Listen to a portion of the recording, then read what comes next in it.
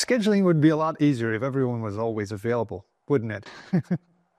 that never happens. In reality, employees have certain moments when they are unavailable. This could be due to planned holidays, sickness, or a variety of other reasons. If an employee is unavailable for a certain period, no shifts can be assigned to them during that time.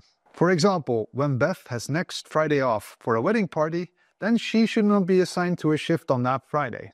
Doing so would break a hard constraint, making the schedule infeasible. Not all employees work full-time for a company. Contractors might only be available during certain days or for a limited number of hours. A feasible schedule needs to take this into account.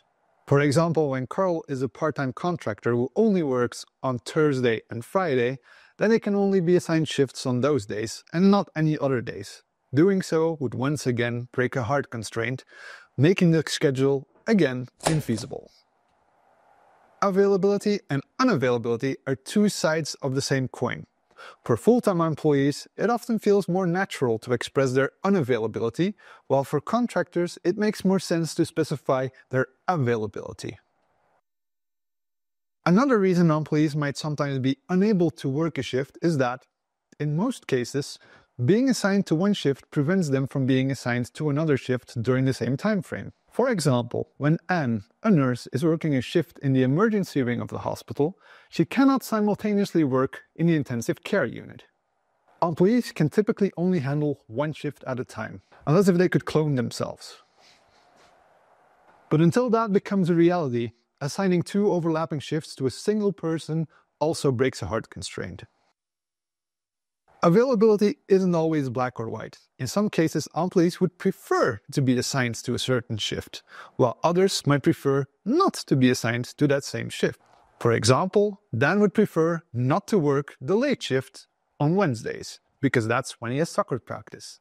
Ivy, on the other hand, is a bit of a night owl, and she does prefer to work the night shifts. While assigning an employee to an unpreferred shift or not giving an employee their preferred shift doesn't make the schedule infeasible, it does affect work satisfaction and might even affect your employee's performance. These preferences are soft constraints. When optimizing, Timefold will fit in as many of these preferences as possible. In reality, taking into account basic availability alone is already a challenging puzzle for any human planner.